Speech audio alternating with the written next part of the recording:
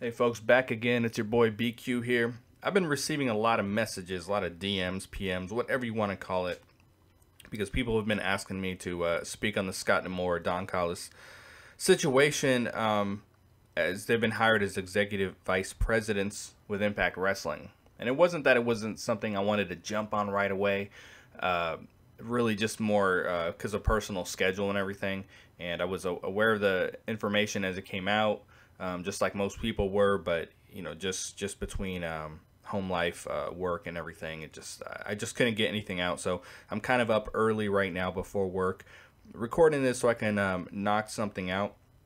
I also wasn't even sure what to say on it all. Um, uh, outside looking in, looks great. We want to have good personnel decisions, and the company really needs to have um, competent people in place uh, behind the scenes, and then people who are well respected in the wrestling industry. So, you know, with Jeff Jarrett, I like Jeff Jarrett. I think he had a lot of great ideas, um, but you know, a lot of people don't like Jeff Jarrett, and you know, Impact Wrestling needs to start having people in good places that are well liked, well respected.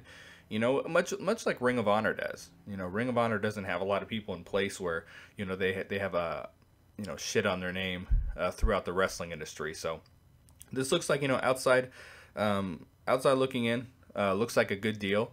And uh, what what I want to see, of course, is better promotion, better marketing, and um, we we see the behind the scenes moves, which are great. But what what is going to bring uh, the viewers back?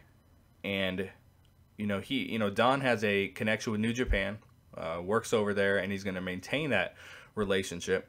So I think this is a, a good thing as far as that goes. I don't think anyone would disagree with that because there's been the rumors that they want to, you know, start working with New Japan. And how crazy, how bananas would that be if they were, you know, there was a working relationship going on with Ring of Honor, New Japan, Noah, you know, and that that's uh, not even talking about Crash and uh, AAA at this point, but uh, you know, say working with those companies right now, that would be a pretty big deal. Um, they got to find the right balance, of course, because one of the knocks on Ring of Honor has always been, you know, that it was New Japan USA or whatever the hell they called it. You know, the New Japan guys went over a lot, and it's usually quite the opposite with Impact. You know, when they bring people in from other companies, they don't typically go over, and they need to start doing a better job with that. But they got to find a really good balance.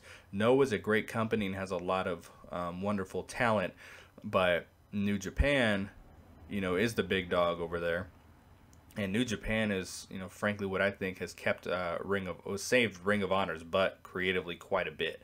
So, you know, he's um, John Gillberg is uh, supposedly out the door in 2018, and uh, the creative team is uh, Sonjay's still going to be involved, but there's going to be Abyss, Gail Kim, Jeremy Borash, Jimmy Jacobs, and then uh, Scott and Don as well. Um, and I guess Ed Nordholm's a part of that committee uh, when it's all said and done. So that's something um, you know, hopefully, again, competent people in place will um, will step in to where um, Ed Nordholm isn't making dumb decisions and everything. So it seems like they're really trying to distance distance themselves from bad business, and um, it, this is this is going to be interesting to see really how it unfolds. Apparently, Dutch Mantell is out. He kind of came in as a, um, a Jarrett guy, so uh, that's that's that kind of sucks.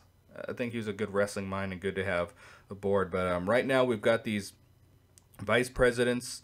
Uh, they're forming a three-member executive committee, um, committee, so they'll be reporting to Ed Nordholm, and we're just gonna have to see what progresses forward with the talks with New Japan and everything.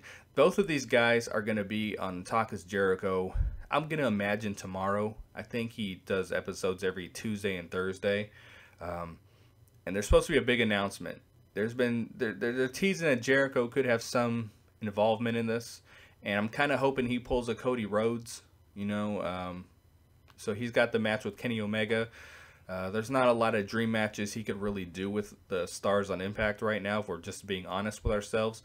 But I could see some money in uh, them building up some something with Jericho and Eli Drake. But I don't want to speculate too much because I don't know um, what the involvement will be. But um, it's going to be interesting. So that's one of the big takeaways. Uh, Talk is Jericho.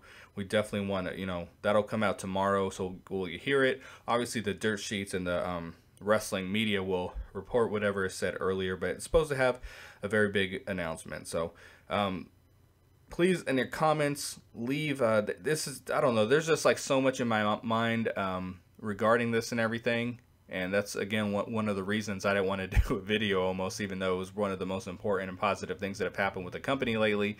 Is just that it's hard to know what this means, hard to speculate what it means, but we can speculate good things could happen, and if they can get good working relationships with um, Ring of Honor, if he can, if Don can be that guy um, with Ring of Honor and New Japan to mend the relationships, then really good things can happen. Because right now, that's the only way to thrive and to grow is and, and to build your own niche is for all these wrestling companies to work together because WWE is trying to destroy these companies, whether you guys want to believe that or not, or maybe not destroy them, but they, you know, they are the clear cut number one, but they want to remain that clear cut number one.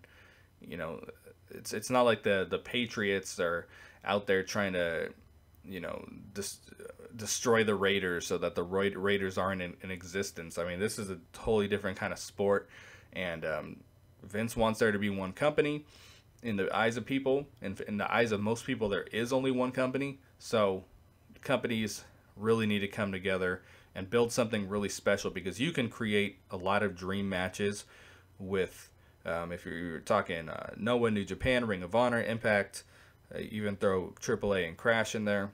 Um, hell, throw Border City Wrestling in there if you want. But building these, um, this community, you can actually mix, miss and match.